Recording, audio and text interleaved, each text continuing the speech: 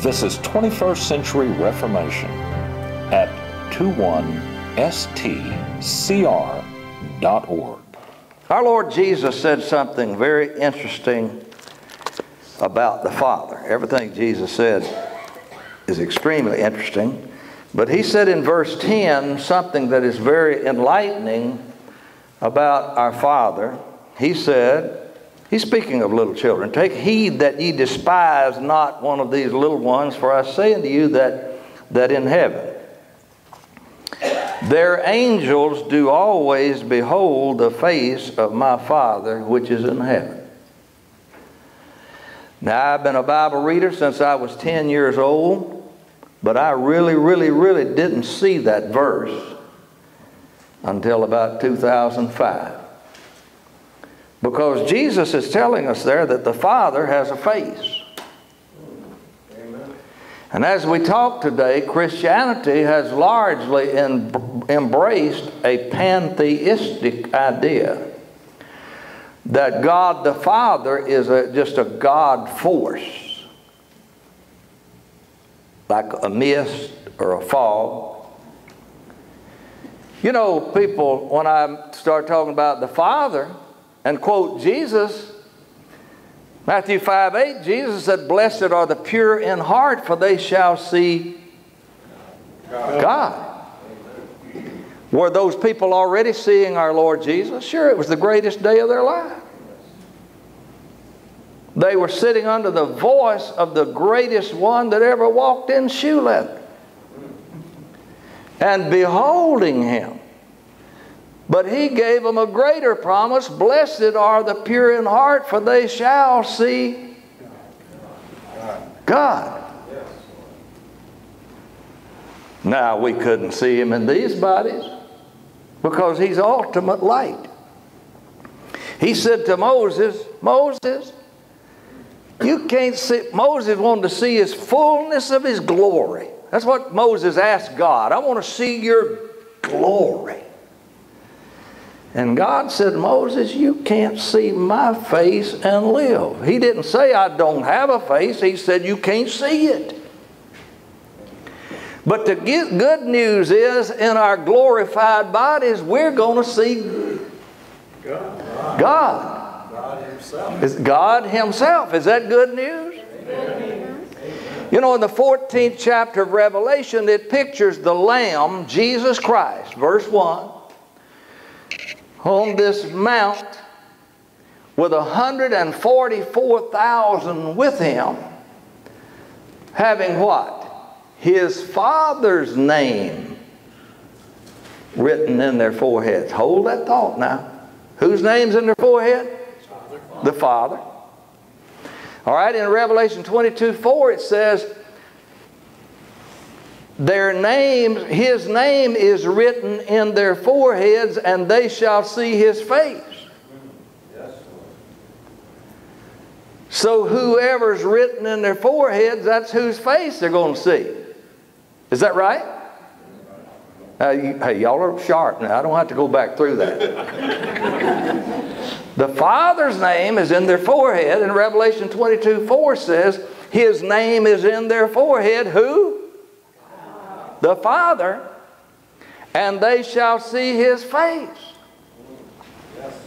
Now, let's don't sell Jesus short, but the problem is we've sold God the Father short. Amen. I'm talking about Christianity as a whole, and many of us in our past understand it. So I shorted the Father for so many years. I'm real, can I use the word raw? At that point, if I'm in church and people start giving the Father's glory to His Son, I, it's painful to me. Because I don't ever plan to do that. I know what the Father did for me. What did the Father do? John 3:16 for God so loved the world that he gave his son. Who do we have in that verse? Two entities, God and his son. So God gave his son. Jesus gave his life, but the Father gave his son. Right? There's a precious sister over in Texas she pastors a real fine big church. Breeska and I ministered there. Before we had this understanding. After I came to this understanding, not too long after we were there, I mailed one of my books. And I held my breath when I took it to the post office. She's fiery, older, sweet lady, but fiery. And I thought, wow, she's going to send me a letter back with the corners burned off of it. You know what I'm saying. But here's what she wrote me back Brother Hemphill, you are exactly right. I want God, my Father, and Jesus, my Savior, to both have the honor that they're due. Is that good? You know, God forbid that I would dishonor anybody here. The Bible said, honor all men. A street person, right? They're due a certain honor. You know, the Bible talks a lot about glory, giving God the glory and, uh, and, and even glory to certain men. The word glory in the New Testament is the word doxa in Greek, D O X A, and it basically means, in Balcomville terms, to recognize a person for who they are and give them the honor of that position. If the mayor of Pigeon Forge come in, comes in, please let me know it because I want to honor him as the mayor. Yes. Right? I don't know the governor of Tennessee, but if he happens to show up, please let me know so I can give him honor. Yes. Right? right? And that's why I get up here and give some of these men, the Bible said they're worthy of double honor that labor in the word. Amen? But above all, Let's give God the Father the glory that He deserves and demands by understanding who He is and what He alone has done. Amen? So that's why all of my books pertain to glory to God. Jesus has awesome glory. No, that's not ambiguous in Scripture. What is Jesus' glory? John 1.14, the Word became flesh, and we beheld His glory. The glory as of the only begotten of the Father. That's high honor. That's high glory. I spent a thousand years in subjection to Him on this planet called the millennium, right? And serve him gladly and bow at his feet and kiss his feet and honor him. But Paul tells me that the end of that thousand years, Jesus will deliver up the kingdom to God, even the Father. And then shall the Son himself be subject to the Father, that God may be all in all. Hello? Amen. To God be the glory. Anyway, don't take it too fast. LaBreeska and I don't have the luxury of only worshiping and ministering to people who believe as we do. God has thrust us into both Trinitarian and oneness settings and called upon us to minister to them where they are. Baptist, Assemblies of God, Pentecostal, Presbyterian, sometime out of our comfort zone. We're not there to remake them or try and convince them that everything they believe is wrong. People don't care what you know or how much you know until they know how much you care. Did Jesus tell everybody everything he knew? Did Paul tell the Corinthians everything he knew? He said, I fed you with milk and not with meat. He had lots of meat to share, but he said, You're not able to bear it. Amen? So back to Mark 4 God give us wisdom as our Lord Jesus had Jesus spake the word of God to them by parables as they could receive it. So God help us to understand what people can receive. There's a precious Assemblies of God pastor in our little town there. So pastors about 225 people. And he, he and his son have a yard service. So we needed someone to mow and keep up the, the yard, and so we hired this minister and his son. Well, I was by him like I was everybody, I am everybody else. I just want people to know the Father. You know, if I'm flying with somebody on an airplane, I'm sitting by him, I'm not sitting there wondering, do they wash feet at their church? That's right. Not important. It's not important. It might be important, but it's not my focus. I don't sit there and wonder if they use grape juice or wine at the Lord's Supper. Now stay with me now. Keep smiling and keep loving. I'm talking, huh? Who said that? I'm talking about right focus now. I'm talking about keeping the main thing the main thing. Amen. All right, come on. The world is not in a mess because they don't wash feet. Come on now. The world is not in a mess because they do use grape juice or wine or what. That is not what's got the world in the mess. The world is in a mess because they do not know God. The one that spoke from Mount Sinai and lightning flashed up and down the mountain and trum- trumpets blasted and people ran screaming and saying, Don't let him speak again or we'll die. That's the God I'm talking about. The God of our Lord Jesus Christ. Paul said in Ephesians 1 3, Blessed be the God and Father of our Lord Jesus Christ. Peter believed just like Paul. He started 1 Peter off the same way. 1 Peter 1 3, Blessed be the God and Father of our Lord Jesus Christ. Jesus said on the cross, My God, my God, why hast thou forsaken me? So he's the only way to God. Yes, yes. Right. That's major, major important. Peter said in 1 Peter 3.18, Jesus suffered to bring us to God.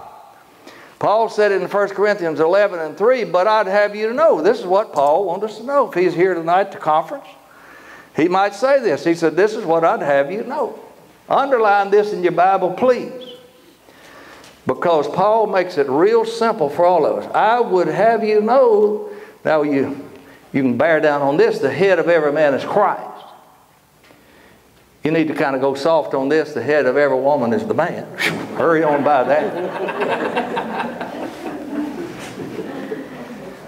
but then bear down again on this. The head of Christ is God. what? God. Did Paul believe the head of Christ is God? God? Just like the head of every man is Christ. Christ. Everybody say it. The head of every man is Christ. Christ. The head of Christ is God. God. Now, when I get into one of these conversations on the phone, see, God has people to call about songs, and this and that. Do you still have the soundtrack to that song recorded in 1975? I said, well, It never did have a soundtrack. Never did have a sound. We didn't have them in those days. anyway, let me tell you this. This brother came to mow the yard for several weeks. Brother Joe, I didn't jump on him, didn't want to jump on him. He's a sweet man. I love him. I get in my pray, uh, prayer closet and I pray for him. But one day the Holy Spirit nudged me. I knew he was coming that day, and the Holy Spirit nudged me today. How many know God's timing is perfect? Hold him up, you know it. His timing is perfect. And so, About 1 o'clock, he was out there mowing. I told my secretary, I said, get some of this material together because I'm going to talk today. Went out around the picnic shelter and he came by in the mower and I flagged. He came over there, took a breather, and we just visiting. And I said, Have you ever noticed that Christianity mostly preaches Christ to the exclusion of the Father? Amen. Well, he said, That's right. And I began to share this truth with him, and I was amazed at how open he was to see it. And in a few minutes, he told me. He said, Brother Hemphill, just this morning, while I've been riding the mower around here, God was speaking to me that we Christians are worshiping the man Christ Jesus. And perhaps we should look higher to his Father and worship the Father. Is that what Jesus said? The hour is coming now is when the true worshipers will worship the Father, for the Father seeketh such to worship him. Right? So God's timing was perfect. Did he get it? Sure, he got it. Not for what I said, but what God was already giving him before I talked to him that very morning on the lawnmower. Now, folks, I can't orchestrate stuff like that. That's why I'm not in management, I'm in sales. Can you say amen? amen? So, hallelujah. Mark it up for a, another one that knows the truth, right? Let's look at Paul's view of Christian, true Christian worship. Two verses tell it plainly. He says in Ephesians 5 19, 20, speak to one another with psalms, hymns, and spiritual songs. I notice your songbook, I love the title. Sing and make me music in your heart to the Lord, what? Always giving thanks to God the Father for everything. What is ambiguous about that? Right? What part of always don't we understand? How many's got a pretty good understanding of always? Sure, y'all are some of the greatest people I ever met. And then he says, for everything. How many has a pretty good concept of everything? All right, underline this now because it could not be more important.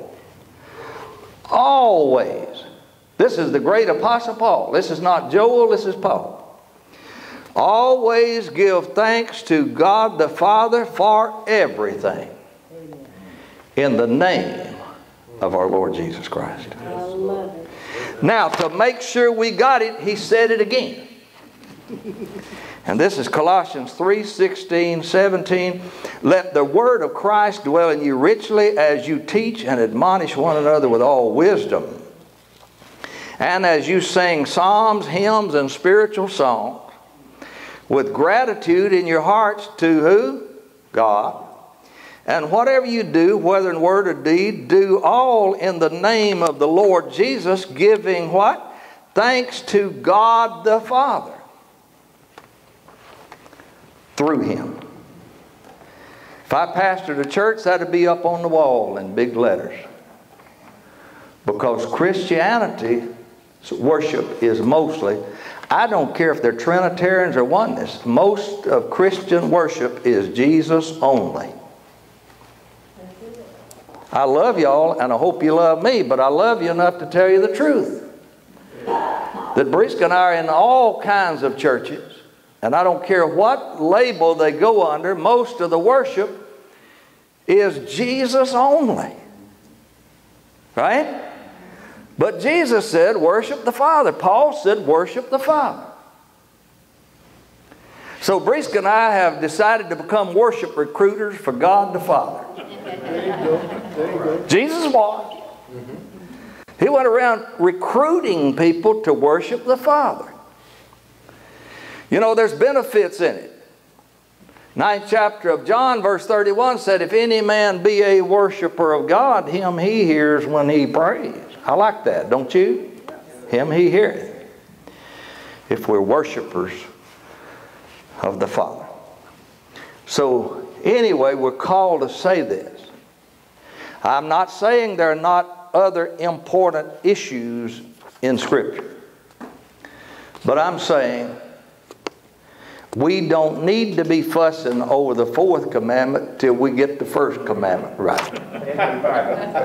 and Jesus said, The first and greatest is listen, Israel. The Lord our God is one Lord. Right here.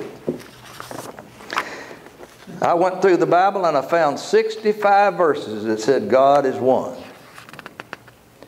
and I couldn't find one authentic verse that said he's three. I had my secretary to type them up and put one in red 65 times. Be sure and get this before you leave. Or if you don't, because it's just scripture, it's not me. Thus saith the Word of God. But hey, nobody can deny if they can deny 65 verses, go ahead and give up on them right now.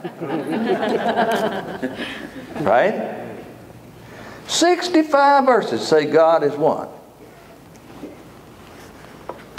Jesus is our brother.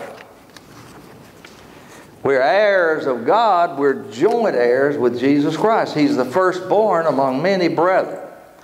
So, this is what this is about. Is Jesus equal with God? I found 12 clear verses that say, and they're right here in this tract, say that Jesus is at the right hand of God. Not majesty, power, it does say that, but 12 times it says he's on the right hand of God. So, you know where I believe he is? Right hand of God. I'm slow, but I'm not that slow. I was born at night, but not last night. Here's a. Folks, this could not be more serious. And it could not be more wonderful to find out who your Father is. Right? Jesus said in John 20, 17, go tell my brethren. Is that what he said? They're my brethren. Go tell my brethren that I send to my Father and your Father, to my God and your God. So I won't be happy till everybody knows that. Brother Anthony won't either. We're eating up with it. Dan Gill, we're eating up with it. Jesus said to the Father, Father, the zeal of your house has eaten me up. There were lots of religious people that could go by that temple and it didn't bother him them at all that there was thieves and robbers in there robbing the people and all. It didn't bother. Listen to me now. There's a lot of people, they didn't care at all what was happening in the temple. But it ate Jesus up. Is that right? It ate him up. He said, Father, the zeal of your house has eaten me up. It's supposed to be a house of prayer to all people, and they've made it a den of thieves. Father, would you let me get a whip and drive them, drive them out of there? Right? And the day he got the okay, he did it. Right? Now, it might not bother some people to rob God of his glory. But it, uh, you know, to see that happen on TV and radio and in Christian churches, but it eats me up. Because I was guilty of it for so long. Right? Now I want my Father and my Savior Jesus to both receive what they're due. Amen? Amen? To God be the glory. God declaring Himself you know, there's nobody can define God God. Are those he puts his word in, as he did our Lord Jesus, to speak about the Father. Jesus is a perfect revealer of the Father. But God declaring himself, I found lots of verses, God declaring who he is. Nobody authorized me to disagree with God. So God declaring himself, is Jesus equal with God? Jesus is our brother.